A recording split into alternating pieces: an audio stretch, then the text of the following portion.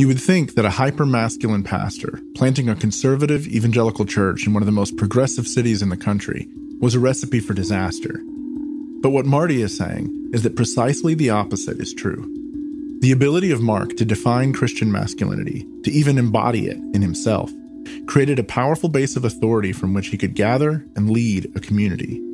When conflicts later arose around questions of gender, sexuality, church governance, and culture, one would expect that these would erode that base. But in fact, for many, maybe for most, it was the opposite. The criticism and attacks from the outside were to be expected because the church had already defined itself as an aggressive countercultural force. And since the identity of the church had been bound up in the personality of Mark Driscoll, an attack on him felt like an attack on you.